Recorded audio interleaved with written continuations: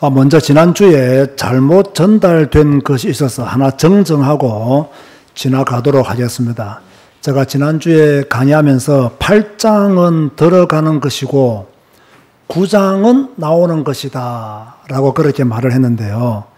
제가 적어오지를 잘못 적어왔습니다. 7장이 방주 안으로 들어가는 것이고 8장이 방주 안에서 나오는 것이다. 이렇게 먼저 정정을 합니다. 지난주에 잘못 전달된 8장은 들어가는 것이요, 9장은 나오는 것이다를 7장이 방주 안으로 들어가는 것이고 8장이 나오는 것이다. 이렇게 정정을 하고 오늘 강의를 시작하도록 하겠습니다.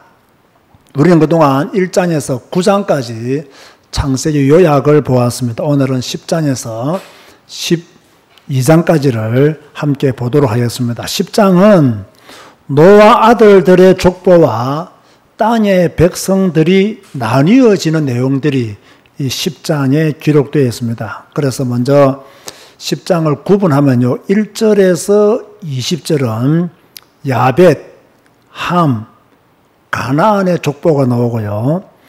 21절에서 32절은 어, 셈의 자손들이 기록되어 있습니다. 자, 1절에서 20절은 야벳과 함과 가나안의 족보가 기록되어 있고요.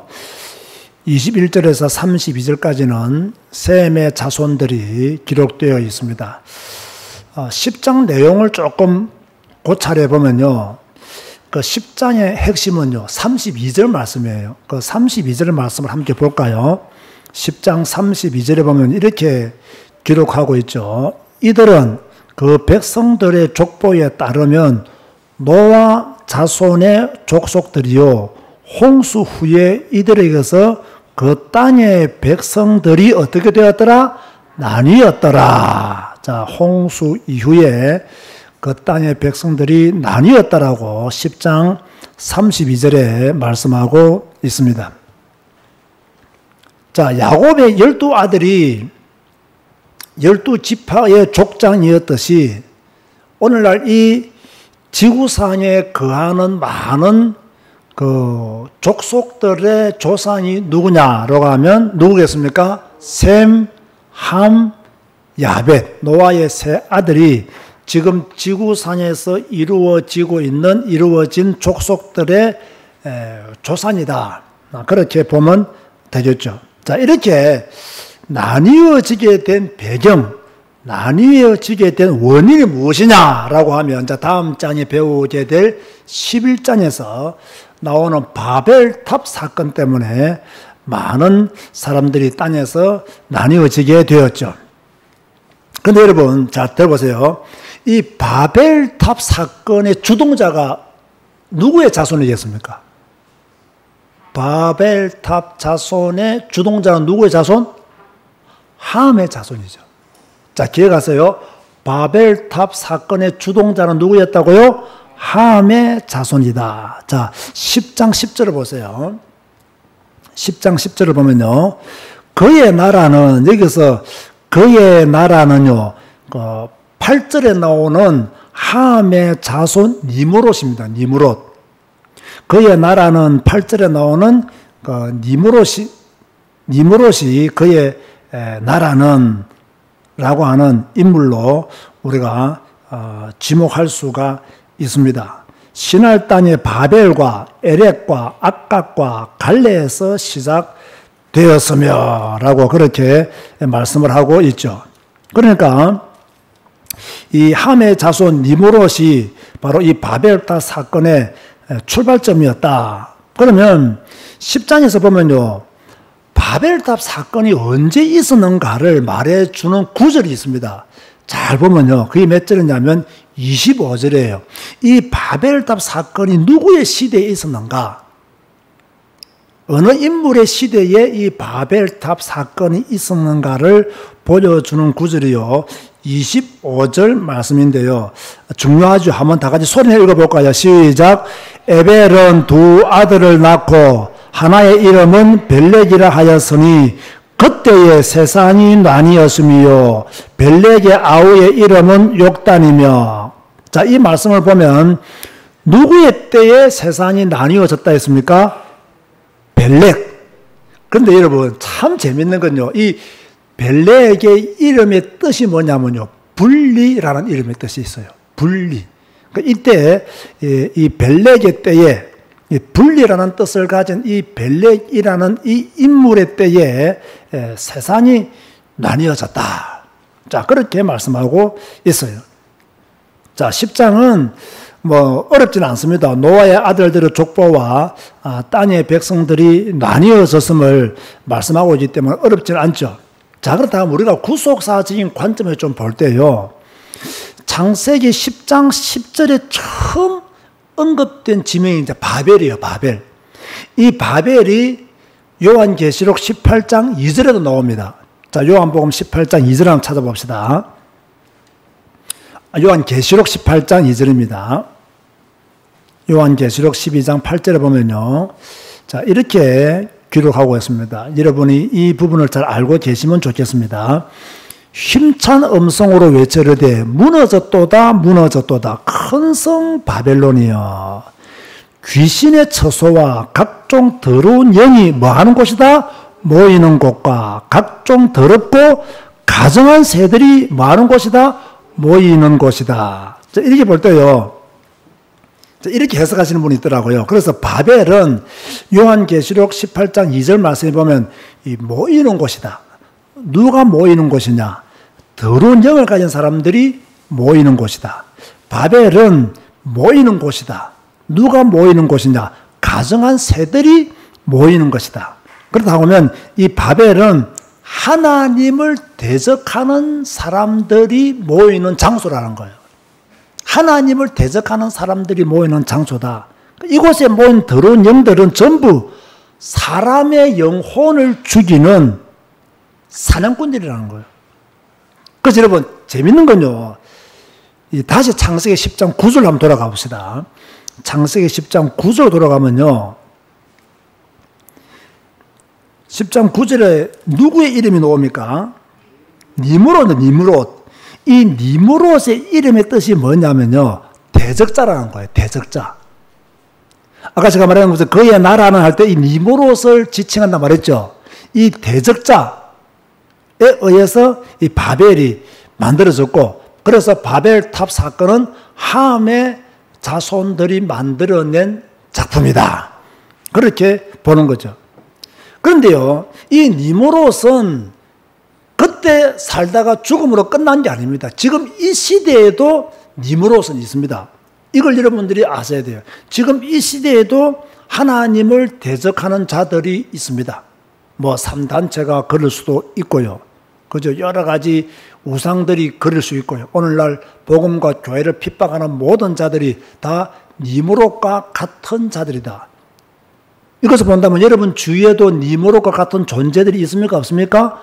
있죠. 하나님을 대적하고, 그죠? 복음을 대적하는 자들이 있습니다. 아, 심지어요, 교회를 다니지만 복음을 대적하는 자들이 있습니다. 그러니까 전부 다 이런 니무롯이 주로 어떤 방법으로 역사하냐면 우상으로 역사하고요. 이런 니무롯들은 현대에서는요, 불신앙으로 역사하고요. 이런 니무롯들은 여전히 하나님과 복음을 대적하는 그런 모습을 가지고 이 세상에 공존하고 있는 거예요.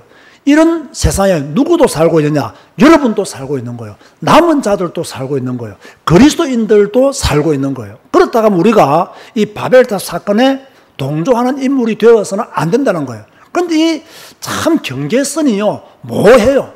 어디까지가 동조하는 것인지, 어디까지가 남은 자의 삶을 사는 것인지, 어디까지가 타협하는 것인지, 어디까지가 내가 구별된 삶을 사는 것인지, 이걸요, 참, 이, 차선은 쉽게 우리가 분별할 수 있지만, 구별할 수 있지만, 이 경계선을 구별하기가 상당히 어려워요. 그래서 우리는 항상 껴있어야 되고, 제가 말하는 성경 읽기를 통해서 우리 자신들을 점검해 가면서 우리는 그 구별선을 잘 지키도록 노력을 해야 되는 거예요. 어찌되었든, 아무리 대적자들이 설쳐도 사탄의 머리를 박살내신 분은 누구시다? 예수 그리스도시다. 이 말은 오늘날 우리 주위에 대적자들이 아무리 많아도 그 대적자를 이길 수 있는 힘은 어디서부터 나오느냐? 복음 안에서 나온다. 예수 그리스도 그 힘의 능력 안에서 우리는 대적자들을 이길 수 있다. 그죠? 아무리 뱀의 후손이 설쳐도 아무리 뱀의 후손이 우리의 발꿈치를 상하게 할지라도 우리는 그의 머리를 박살낼 수 있는 방법을 알고 있다는 거예요. 오직 예수. 그래서 우리는 오직 성경, 오직 복음으로 무장되어져야 되죠.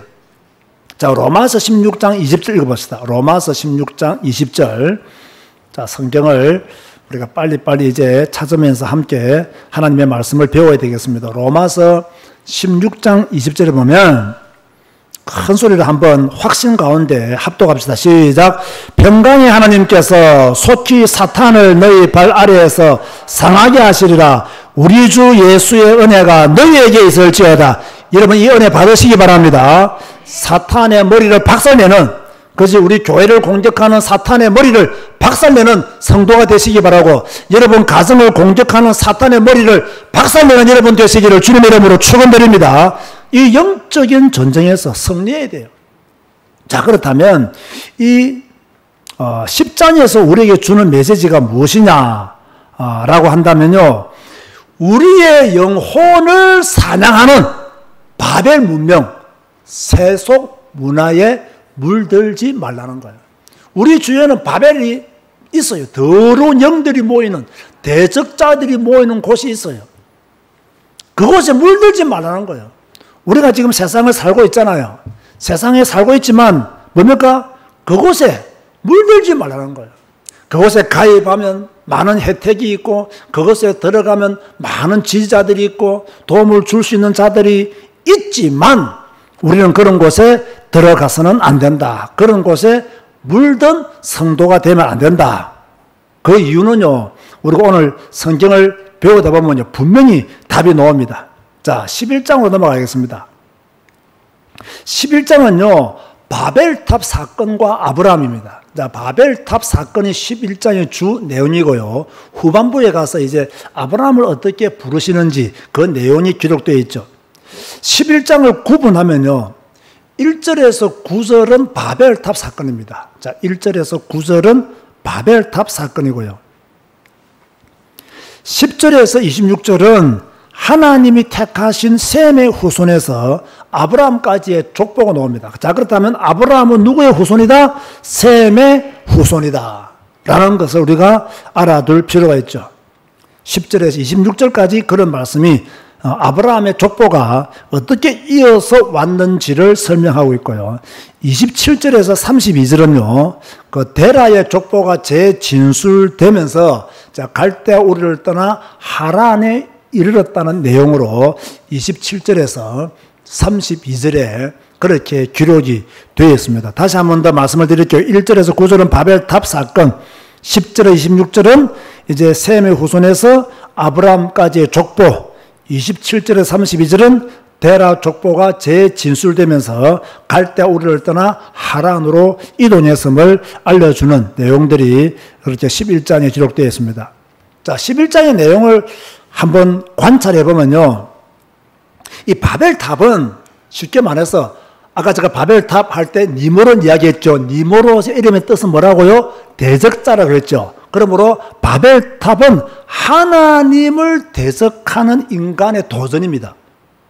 하나님을 도전, 대적하는 인간의 도전이 바로 바벨탑이다.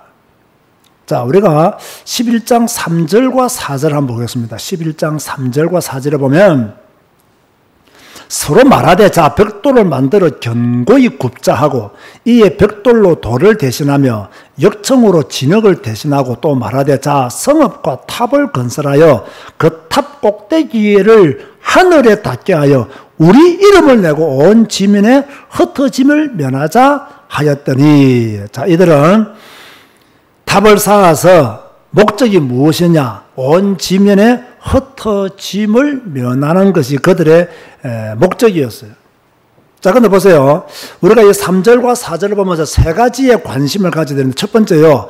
그 탑 꼭대기를 하늘에 닿게 하여 이게 바로 하나님을 대적하는 내용이라는 거예요. 그 탑 꼭대기를 하늘에 닿게 하여 누구를 대적하는 것이라고요? 하나님을 대적하는 거예요. 우리 이름을 내고 인간의 교만이에요. 우리 이름을 내고 우리가 항상 사역하면서 조심해야 될 게 뭐냐면요. 우리 이름을 내고 여기에 빠지면 안 됩니다. 내 이름을 내고 내가 인정받고 내가 칭찬받고 내가 선두에 서고 내가 뭔가를 이루었다고 하는 이런 이름을 내고 누구 이름을 내고 우리 이름 내 이름을 내고 여기에 딱 잡히면요. 인간은 끝없이 교만의 바벨탑을 계속 쌓아갈 수밖에 없는 거죠. 그러면서 그들은 지면에 흩어짐을 면하자. 그런데 이미요, 하나님은 노아 언약을 통해서요, 이 노아의 후손들을 보호해 줄 것을 말씀했거든요. 그러면 하나님의 보호를 잘 받으면 되는데 스스로 뭡니까? 흩어짐을 면하기 위해서 오히려 하나님을 대적하는 어리석음을 범했다는 거예요. 그들은 흩어지기를 원하지 않았지만 하나님을 대적함으로 흩어질 수밖에 없었던 거예요. 그들이 뭔가 열심히 행동하여 결정하여 옮긴 것이 오히려 흩어질 수밖에 없는 원인이 됐다는 거예요. 그래서 우리는요, 답이 없을 때는요, 조용히 기다리는 것이 최고의 믿음이에요. 뭔가 내가 결정하고 내가 열심을 다하고 이렇게 하는 것이 좋은 결과를 낳는 것은 아니에요. 내가 무엇을 해야 될지 잘 모르겠다. 그러면 가만히 앉아서요. 기다려야 돼요. 근데 이들은 기다리지 못하고 뭡니까? 바벨탑을 쌓기 시작한 거예요. 자, 하나님이 바벨탑 쌓는 것을 딱 보니까 기가 찬 거예요. 자, 이것을 본 하나님이 어떻게 말씀하시느냐? 5절과 7절 말씀에 이런 말씀으로 넣어져. 이 무리가 한 족속이 되고 언어가 하나가 되니까 못하는 짓이 없구나. 하나님이 그렇게 보는 거예요. 이들이 못하는 짓이 없구나. 말이 통하니까 별것 다 하는구나. 그래서 언어를 혼잡하게 만들어버리자. 서로서로 말하지만 알아듣지 못하게 만들어버리자. 이렇게 해가지고요, 공사가 안 되도록 만들었고, 흩어짐을 당하게 되었죠. 왜 흩어짐을 당하게 되었겠어요? 말이 통하는 사람들끼리 흩어져 나가는 거예요. 말이 안 통하면 대화가 안 되잖아요. 대화가 안 되면 함께 살아갈 수가 없잖아요.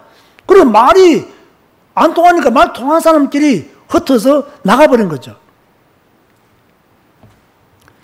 이게 11장에 나오는 내용이고요. 이제 10절에서 32절에 보면요.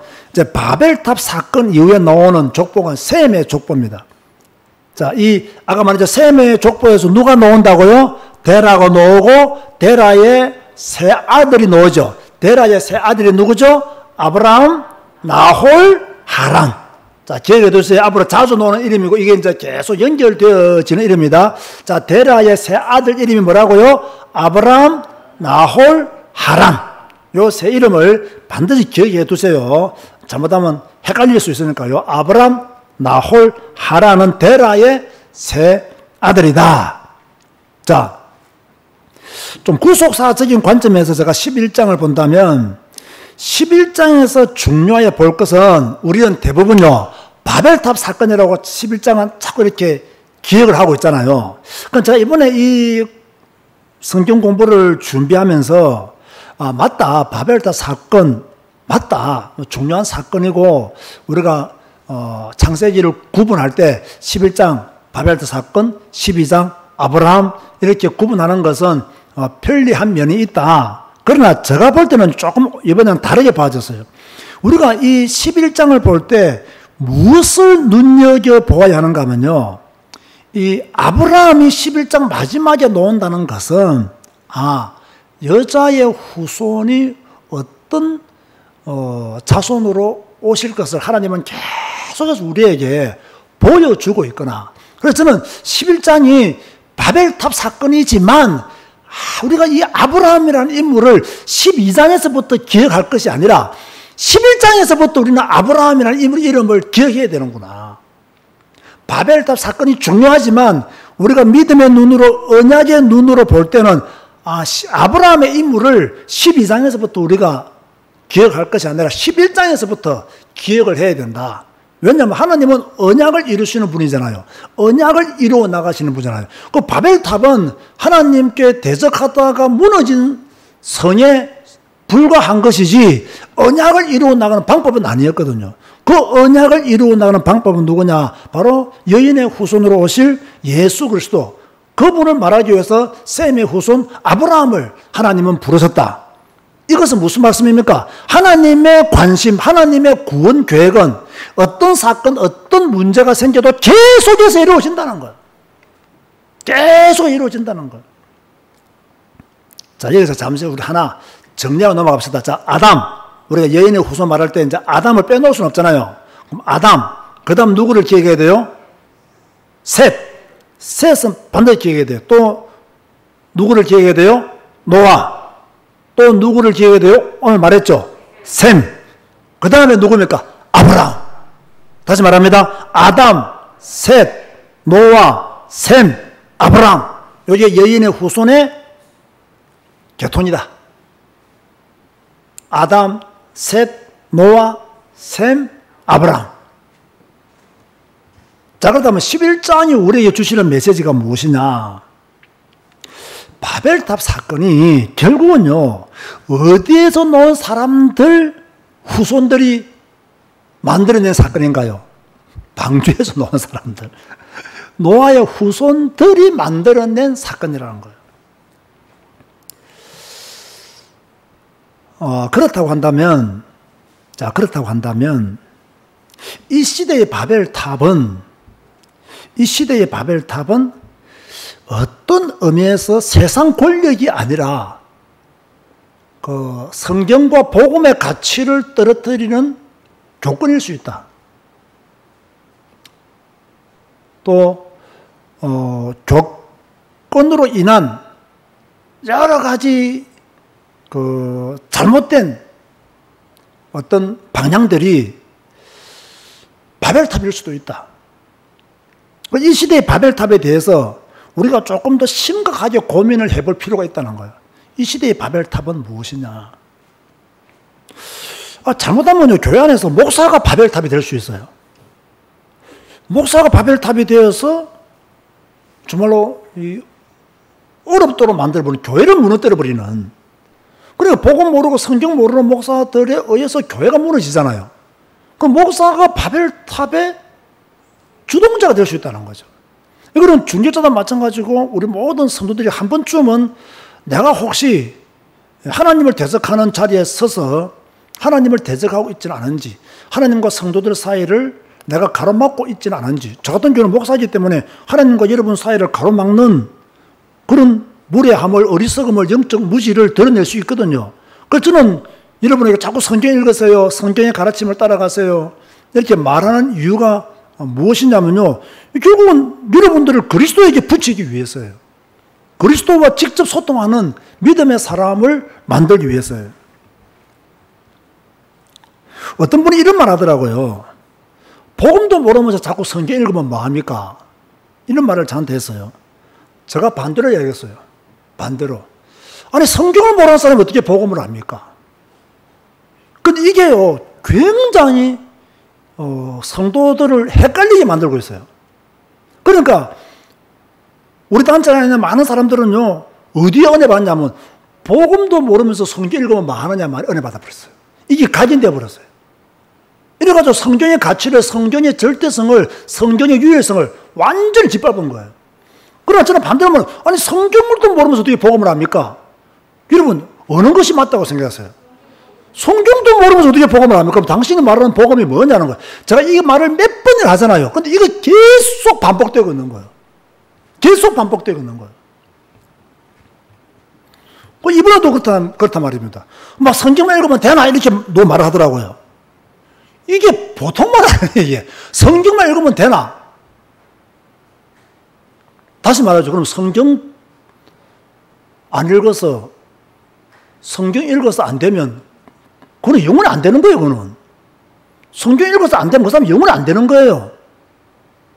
영원히 안 되는 거예요. 성경이 우리의 유일한 소망인 줄 믿으시기 바랍니다. 성경이 우리의 유일한 소망이에요. 근데 이걸 모르고 있는 거예요. 여러분, 절대로 이 성경의 가치와 절대성을 훼손하지 마세요. 여기는요, 이걸 무시한다면 진짜 이건 신성 모독죄에 해당하는 겁니다. 하나님의 말씀이잖아요. 그래서 제가요, 좀 여러분에게 흥분할 수밖에 없고 과하게 제가 표현하는 언어들이 있는 거예요. 자, 어떻게 하든지 우리는 절대로 바벨탑을 쌓는 어리석은 자가 되면 안 된다. 라는 것을 말씀을 드리고요. 12장을 넘어가겠습니다. 자, 창세기 12장은요, 아브라함을 택하신 하나님입니다. 하, 너무나 중요하죠. 여러분을 택하신 분이 누구라고요? 하나님이에요. 여러분을 이 자리에 앉게 하신 분이 누구예요? 하나님이에요. 자, 12장을 구분하면요. 1절에서 9절은 여호와께서 아브라함에게 내가 네게 지시할 땅으로 가라. 그렇게 말씀했어요. 내가 네게 지시할 땅으로 가라. 그 아브라함이 갔어요, 안 갔어요? 갔죠. 그런데 10절에서 12절에 보면 20절에 보면요. 갔는데 뭐가 들었어요? 기근이 들어버렸어요. 그래서 어디로 이동했어요? 애굽으로 내려간 것을 기록하고 있는 것이 12장 10절에서 20절 말씀이에요. 자, 12장을 제가 좀 내용을 관찰하면요. 하나님이 한 사람을 딱 부른 거예요. 그 사람을 통해서 메시아 언약을 주신 거예요. 그 한 사람을 통해서 뭡니까? 그 후손들 이삭과 야곱을 통해서 그 언약을 개성시켜 나가도록 시작하신 말씀이 창세기 12장이라는 거예요. 한 사람을 불러서 한 민족을 만들고 한 민족을 통해서 한 사람이 나오도록 그 시작점이 어디냐? 뭐, 뭐 노아 이야기도 할 수 있고 다 이야기할 수 있지만 어, 창세기 12장을 더욱더 강하게 그렇게 강조하고 싶은 거예요. 자, 여러분 가문의 보고마 보고마 시작점이 누굽니까? 여러분 한 사람이에요. 여러분 한 사람. 여러분 한 사람이 여러분 가문의 보고마의 시작점이에요. 그 한 사람을 통해서 여러분의 후대가 다 하나님을 믿고 예수 그리스도 안에서 살아갈 수가 있는 거예요. 자, 그러면 이 모든 일을 누가 하시느냐?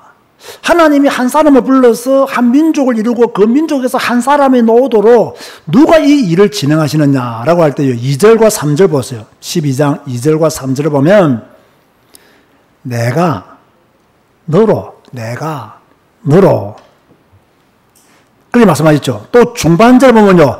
내가 복을 내리고 내가 했어요. 또 그 뒤에 말씀 보면요. 내가 저주하리니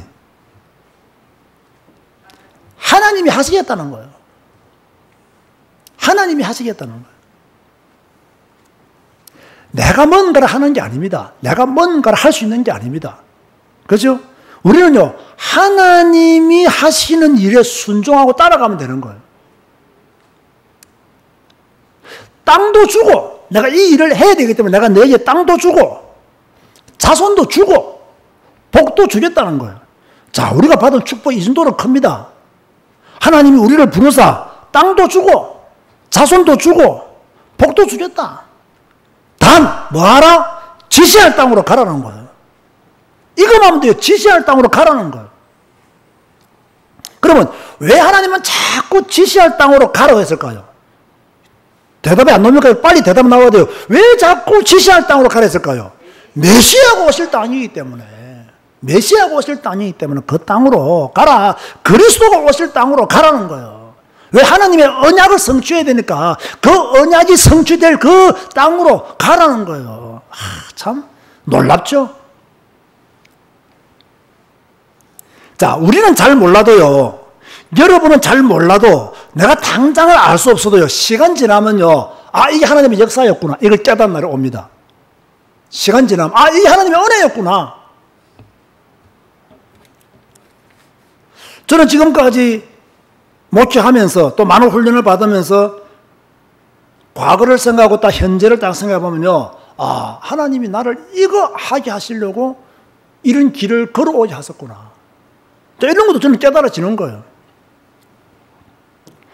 자, 그런데 하나님이 이렇게 말씀하셨을 때 7절과 8절 보면 아브라함은 하나님의 언약을 믿었어요. 그래서 재단을 쌓고 여호와의 이름을 불렀다. 그렇게 말씀하고 있어요. 믿어야 재단을 쌓죠. 믿어야 여호와의 이름을 부르죠. 여러분이 믿으면 믿음의 행위가 나오게 돼 있어요. 믿으면 믿음의 생각을 하게 돼 있어요. 그 아브라함이 언약을 믿고 재단을 쌓고 여호와 이름을 불렀잖아요. 그런데 이렇게 할 때 금방 형통하고 막 금방 좋은 일이 많이 생길 줄 알았는데 그 땅에 딱 도착해 보니까 기근이 들어본 거예요. 여러분, 여러분도 이럴 때가 있었죠? 하, 내가 이렇게 기도했으면 하나님이 진짜 응답해 주시고, 뭐 큰 기적까지는 내가 바라지는 않지만, 그래도 이런 문제는 일어나지 않도록 하셔야 되는데, 좀 섭섭하다. 이런 생각을 가질 때가 없었습니까? 저는 너무 많아요. 저는 너무 많아요. 아, 적어도 내가 이 정도까지 했으면 하나님이 그래도 뭐, 은혜를 좀 주셔야 되는데, 해도 특별한 거 없고, 오히려 안 할 때가 더 특별한 일이 생기는 것 같고, 이렇게 되니까 헷갈려요. 기도를 해야 되나 말아야 되나. 해도 좋은 일 안 생기고, 오히려 안 하고 있으니까 좋은 일이 생기고, 이게 도대체 누구의 역사인가? 헷갈리기 시작하는 거예요. 헷갈리기 시작하는 거예요. 아마 저 생각은 그래요. 아브라함도 하나님이 지시할 땅으로 가렸을 때, 아, 그 땅만 가면 새로운 세상이 펼쳐지겠구나. 이런 생각을 아마 조금 하지 않았을까. 그런데 그 반대가 나온 거예요. 먹을 게 없는 거예요. 하나님이 지시할 땅으로 왔는데 먹을 게 없는 거예요. 믿음의 확신을 가지고 결정하고 왔는데 먹을 게 없는 거예요. 이때 우리가 불신앙하면 안 되는데 아브라함은 실수를 하죠. 그래서 애굽으로 갑니다. 애굽으로 갑니다. 그래서 막 아내까지 막 누이라고 속이면서 빼앗길 뻔하죠. 자, 그런데 우리가요 여기서 한 가지 또 보아야 될 것이 있습니다. 그러면 이 아브라함이 애굽으로 간 것이 실패나? 우리는 지금까지 실패라고 보았잖아요. 거기서 뭐, 뭐 이상한 여자도 한번 데려오게 되고 실패를 보았단 말이에요. 근데 우리가 조금 다른 관점에서 보면요. 하나님이 아브라함을 훈련시키는 과정일 수도 있겠다는 거예요. 하나님이 아브라함을 훈련시키는 과정이라는 거예요. 그럼 네가 지시할 땅에 갔지만 어려움 당했지. 네가 애굽으로 내려갔지. 그러면서도 하나님은 애굽에서 어떤 역사를 일으켜 줍니까? 사라를 지키시고 보호하시고 온전히 데리고 오도록 하셨잖아요. 이런 것을 아브라함이 통해서 아브라함이 하나님을 알아가는 기회들이 된 거예요. 하나님에 대해서 인식하게 되는 그런 기회들을 아브라함이 제공받게 된 거예요. 야, 놀랍죠, 여러분? 저는 그렇게 한번 해석을 해보고 싶은 거예요. 자, 구속사적인 관점에서 본다면요, 우리 인생의 주권자는 누구시냐? 하나님이시라는 거예요. 여러분의 모든 것 주의 손에 있음을 믿으시기 바랍니다. 자, 하나님의 주권을 믿고 그 주권 안에서 하나님의 계획을 조금씩 조금씩 발전해 가면 그것이 뭡니까?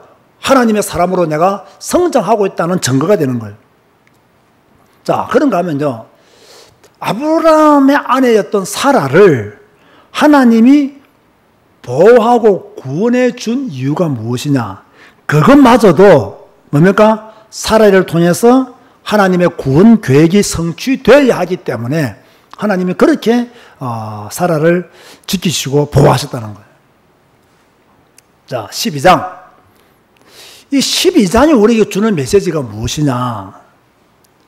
어찌됐든 아브라함은 무엇을 따라갔다? 말씀을 따라갔다. 우리도 뭐 따라가야 된다? 말씀 따라가야 된다. 제가 이 말씀이라 할 때요, 제가 로고스라고 내가 여러 번 말했죠. 로고스. 로고스는 기록된 말씀, 레말은 내가 붙잡은 말씀, 이렇게 우리가 구분하는데, 그런데 오늘날 이 말씀이라는 단어가 너무 두리뭉실하게 사용되어지기 때문에 성도들이 약간 착각을 하는 것 같아요. 어, 저는 말씀을 할 때는 설교로 말하는 것이 아닙니다. 성경. 성경 그 자체를 나는 로고스 그 자체를 말씀이라고 말하지 목사의 설교로 말씀이다. 이렇게 말하고 싶지는 않아요.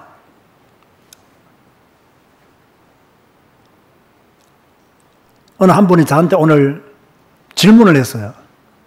목사님, 아무한테도 내가 말 못하지만 목사님한테 한번 묻고 싶다더라고요. 그러면서 이렇게 똑 질문을 보냈어요. 강단에서 증거되는 모든 말씀이 하나님이 주시는 말씀입니까? 어마어마한 질문이죠. 강단에서 선포되는 모든 목사님들의 설교가 하나님이 주시는 메시지입니까? 제가 답을 어떻게 했겠어요? 내 성격상. 아닙니다. 하나님의 말씀도 있고 목사의 생각도 있습니다. 그것은 저의 설교도 마찬가지입니다.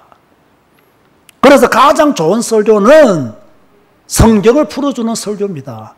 가장 안전한 설교가 무엇이냐? 성경을 풀어주는 설교가 가장 안전한 설교입니다. 그런데 왜 자꾸 강단 메시지를 들어라, 강단 메시지에 집중해라, 강단 메시지는 하나님이 우리에게 주시는 메시지라고 말하느냐? 내가 그분한테 말하지 않았지만 여기는 목사의 잘못된 동기가 숨어 있다. 그분한테 내가 대답한 말은 아닙니다. 내 스스로 생각하기 목사의 잘못된 동기가 숨어 있다. 목사의 제자로 만들기 위한 하나의 방법으로 그것을 사용할 수가 있겠구나. 그런 생각을 제가 했어요.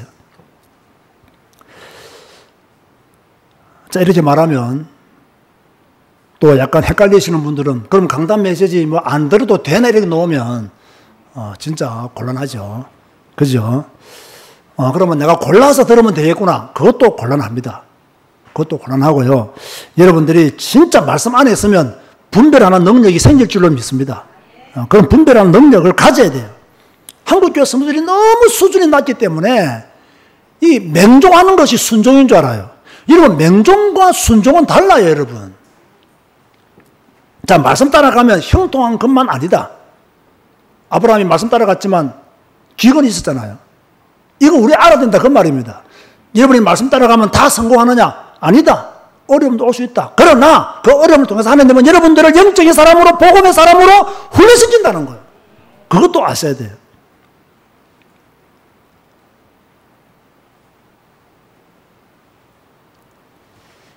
자, 이것을 막는 자는 어떻게 되느냐? 하나님의 구원 계획을 막는 자는 재앙이 임한다. 재앙이 임한다. 그 바로의 집에 어, 재앙이 내렸죠. 바로가 그걸 깨닫고 빨리 해질에서 당이었죠. 자, 무엇을 알아야 되냐? 우리가 언약의 사람이면, 믿음의 사람이면 하나님은 우리를 지키신다는 것을 말씀하고 있습니다. 자, 오늘은 10장, 11장, 12장을 여러분에게 설명을 했습니다. 정말 중요한 것들을 우리는 계속해서 듣고 있습니다. 성경 공부 제대로 하시기 바라고 영적인 근육을 튼튼히 키우시기를 주님의 이름으로 축원드립니다. 주님 감사합니다. 오늘 또 수요 예배로 또 성경을 하나님의 말씀을 배우시도록 은혜 주셔서 감사합니다. 오늘 10장, 11장, 12장을 배웠습니다. 우리가 들어야 될 또 하나님의 말씀을 잘 기억하게 하시고 우리가 배워야 될 것들을 제대로 배워서 영적인 근육을 튼튼히 만들어 가시도록 축복하여 주옵소서. 예수님의 이름으로 기도드리옵나이다. 아멘.